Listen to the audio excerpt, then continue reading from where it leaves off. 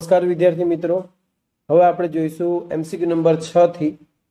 તો MCQ number જે છ આપેલો છે, એનાથી શરૂઆત કરીએ. તો છઠ્ઠા નંબરના એમસીક્યુમાં જે ડિટેલ્સ છે ડિટેલ્સમાં એવું લખેલું છે કે એક ધાતુની પ્લેટમાંથી ઇલેક્ટ્રોન્સ દૂર કરવામાં આવે. પરંતુ એ નથી લખેલું કે કેટલા ઇલેક્ટ્રોન્સ દૂર કરવામાં આવે. તો જૂની ચોપડીનો એમસીક્યુ છે, એમાં લખેલું છે ten raise to nineteen electrons આટલા ઇલેક્ટ્રોન્સ દૂર કરવામાં આવે, તો તેના પરનો વિદ્યુતભાર કેટલો થાય? તો હવે જોવા જઈએ તો પ્લેટ કેવી હશે? તટસ્થ. તટસ્થનો મતલબ શું થઈ જશે કે જેટલા ઇલેક્ટ્રોન હશે, એટલા જ પ્રોટોન બી હશે. ઇલેક્ટ્રોન દૂર કરવામાં આવે તો રહી કોણ જાય? પ્રોટોન તો ten raise to nineteen electron જો દૂર કરવામાં આવે, તો કેટલા પ્રોટોન રહી જશે? Ten raise to nineteen proton હવે એનો વિદ્યુતભાર ગણવો હોય ટેન રેઝ ટુ નાઇન્ટીન પ્રોટોનનો એ ગણવા માટે આપણે કરશું ten raise to nineteen proton into એનો વિદ્યુતભાર ગણીએ તો one point six into ten raise to minus nineteen આ કેન્સલ થઈ જશે. બચશે શું? વન પોઈન્ટ સિક્સ તો જવાબ તમારો જે આવશે, એ આવશે વન પોઈન્ટ સિક્સ કુલમ અગર તમને એવું કહેવામાં આવે કે પ્રોટોન દૂર કરવામાં આવે તો કોણ બચશે? ઇલેક્ટ્રોન બચે. તો જવાબ વન પોઈન્ટ સિક્સ આવશે, પણ કોણ આવે? માઇનસ વન પોઈન્ટ સિક્સ આવે. જે એ જવાબ છે. એટલે તમને પરીક્ષામાં કંઈ પણ પૂછી શકાય છે. યા તો એ, યા તો બી. એના આધારે તમે સિલેક્ટ કરી શકો છો. પછી જો આપણે સાતમા નંબરનો એમસીક્યુ જોઈએ, તો સાતમા નંબરના એમસીક્યુમાં આપણને આપેલું છે વિદ્યુત ફ્લક્સનું પારિમાણિક સૂત્ર. તો વિદ્યુત ફ્લક્સનું આપણને સૂત્ર ખબર હોવું જોઈએ. વિદ્યુત ફ્લક્સનું સૂત્ર જે છે તે flux is equal to E A cos છે, પરંતુ કોસ થીટાનું કંઈ નહીં આવે પારિમાણિક સૂત્રમાં. તો ઈ એ ઈનું શું થાય છે? ન્યૂટન પર કુલમ ને એરિયા, તો એરિયા છે, મીટર સ્ક્વેર. આપણે એની જગ્યાએ અહીંયા મીટર સ્ક્વેર લખી દઈએ. તો ન્યૂટન એટલે બળ, બળનું પારિમાણિક સૂત્ર શું થાય? M one L one T minus two એ KG meter per second square તો KG meter per second square M one L one T minus two અહીં મીટર સ્ક્વેર છે બાજુમાં એટલે એલ રેસ ટુ ટુ ને છેદમાં કુલમ કુલમ એટલે શું થાય? એમ્પિયર ટાઈમ હવે આને જો આપણે સોલ્વ કરીએ, તો એ થઈ જશે M raise to one L નો જોજો, અહીં એક ઘાત છે, અહીં બે ઘાત છે. એટલે એલ નો થઈ જશે ક્યુબ. પછી ટી જોવા જાય તો આ વન ઉપર જશે તો માઇનસ થ્રી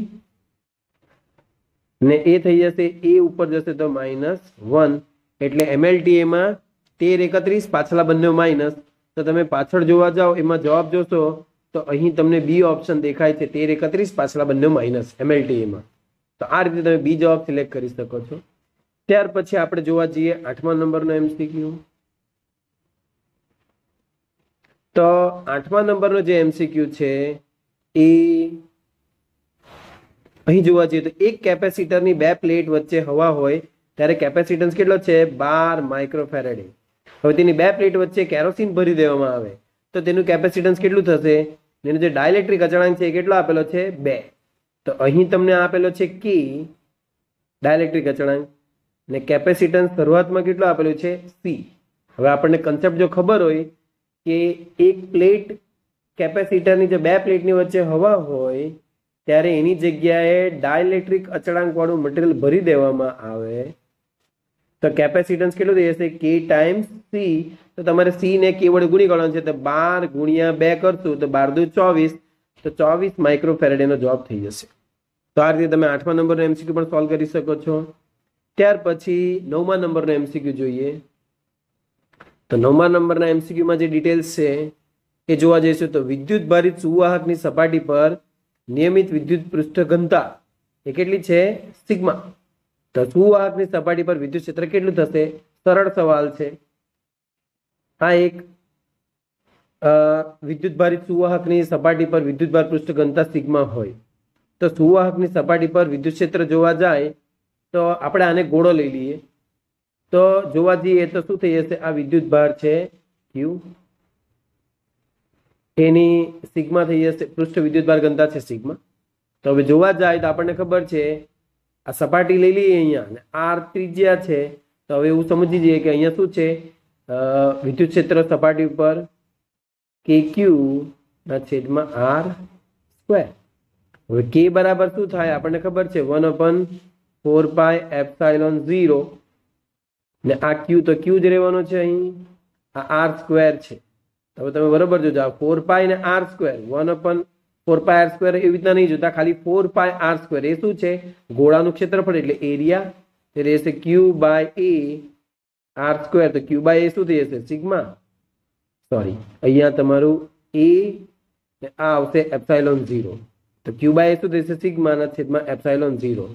તો આ એ જે છે એ શું છે? ફોર બાય આર સ્ક્વેર આ રીતે તમે આ જવાબ લાવી શકો છો સિગ્મા બાય એપ્સાઇલોન ઝીરો જોવા જાય તો થિયરીમાં પણ આ ડાયરેક્ટ આન્સર છે sigma by epsilon zero second ચેપ્ટરમાં છે આ તમારો કન્સેપ્ટ ત્યાર પછી આપણે જોઈશું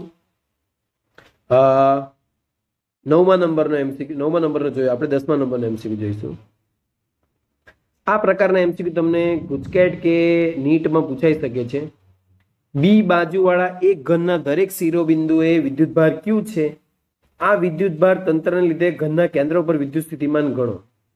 તો પહેલા તો તમારે સમઘન દોરી દેવો પડશે. તો આપણે આ સમઘન દોરી દઈએ અહીંયા. આ સમઘન દોરી દીધો. દરેક પર વિદ્યુતભાર કેટલો છે? ક્યુ, એટલે આઠ વિદ્યુતભાર આવશે.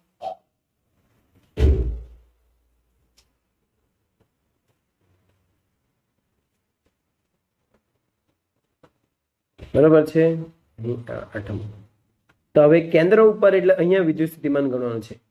તો આપણને ખબર છે વિદ્યુત સ્થિતિમાનનું મૂલ્ય કેટલું થઈ જશે? એટ કે ક્યુ બાય આ આર એટલે શું થશે? દરેક શિરોબિંદુથી આ અંતર. સવાલ એ છે કે અંતર કેટલું થશે? તે અંતર ગણવું હોય તો બરાબર સમજજો. અહીં લંબાઈ આપેલી છે બી એટલે આ બી બી ને આ પણ બી થશે. હવે કોઈ આ અંતરમાં આપે. તો એ અંતર પાયથાગોરસ મુજબ શું થશે? B square plus B square two B square એનું વર્ગમૂળ કાઢશો તો રૂટ ટુ બી હવે આપણે તો આટલેથી આટલું અંતર જોઈએ છે. એના માટે જોવા જાય તો આ વિકર્ણ લંબાવી દઈએ આટલેથી આટલો. હવે આ પાયથાગોરસ જોજો, હું જે લાઈન ફેરવું છું એ બરાબર સમજજો, આટલેથી આટલી લાઈન કોઈને નહીં ખબર પડે એરો જોજો. અહીંથી આમ, આ આ જમ જશે ને આ આમ. ફરી પાછું જોજો, આમ આમ ને આમ. તો આ બી છે, આ કેટલું છે? રૂટ ટુ બી તો રૂટ ટુ બી નો વર્ગ કરશું તો કેટલો થશે? Two B square. આ થ્રી બી સ્ક્વેર, તો આખી લાઈન કેટલી થઈ જશે? Root three B. ને આપણને તો એનું પણ અડધું જ જોઈએ છે. આટલે આટલેથી આટલું જ અંતર જોઈએ છે. યાને કે root three B by two. તો આરની જગ્યાએ શું મૂકવાનું છે? Root three B by two.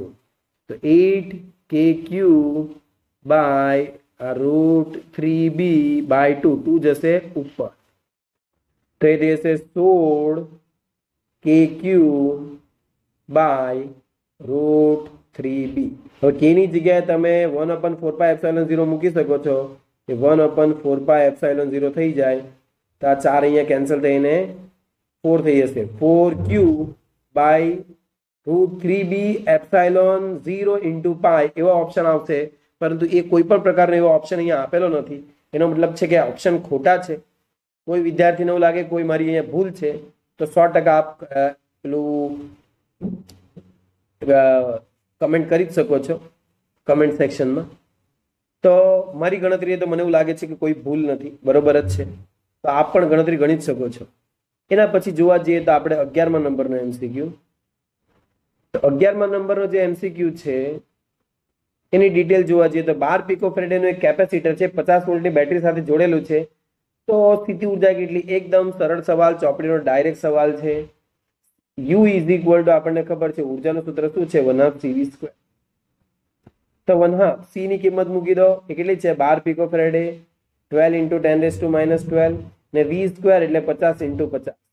તો આ જવાબ તમે કેલ્સીમાં ગણીને, એનો જવાબ જે ફાઇનલ જવાબ આવશે, એ કોમેન્ટ સેક્શનમાં કોમેન્ટ કરી શકો છો. એ હું તમારી પર છોડી દઉં છું.